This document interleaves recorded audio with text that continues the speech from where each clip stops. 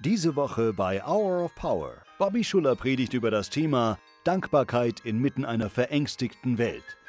Es gibt keinen besseren Weg, ein fröhlicher Mensch zu werden und seine Angst hinter sich zu lassen, als dankbar zu sein.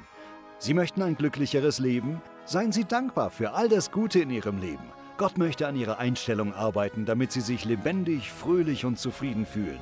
Lassen Sie sich darauf ein, entdecken Sie Hour of Power, die beste Stunde im Fernsehen.